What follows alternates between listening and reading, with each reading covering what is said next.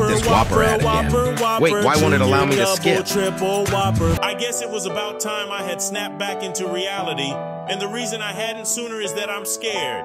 Insanity is better than this, and being the guy who has said Whopper, Whopper, Whopper millions of times in people's faces doesn't remotely comfort me. I want to break from this, and now. Maybe I should have spoken up by now because that's the only way anybody listens these days. The earth is a foul place. I feel depressed by all these whoppers. I'm even being paid minimum wage.